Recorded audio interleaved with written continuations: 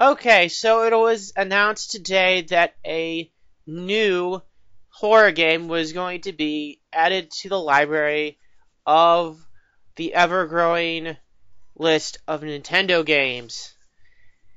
And it was going to be for the Nintendo 3DS.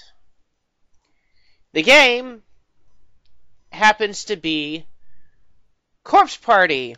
Now, for those who have been paying attention to the game and its history, it's been out since 1996. That's almost 20 years ago.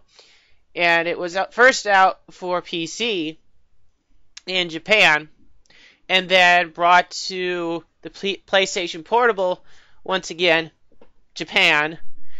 And then I believe for PSN for use on the Vita and then portable. Mean, no, not portable. Um, mobile, iOS.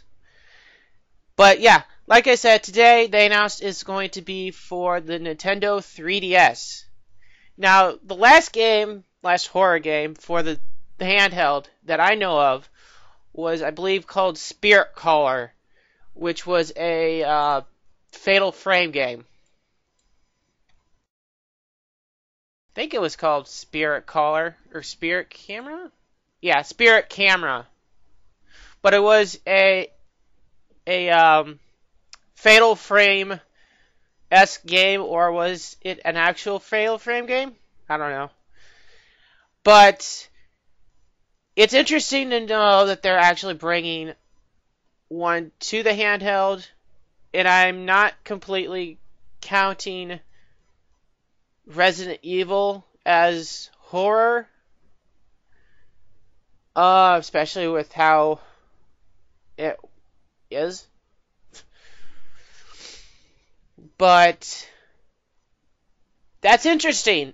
Um, one thing that was noted, one thing that was noted about the 3DS port was that it's going to have an additional brand new scene in the game for the 3DS.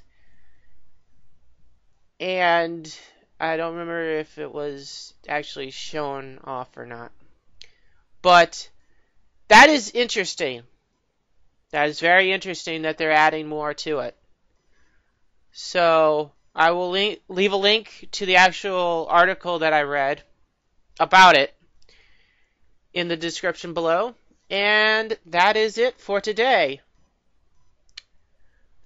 So until next time, when we when I discuss another thing. Well, till then, bye bye for now.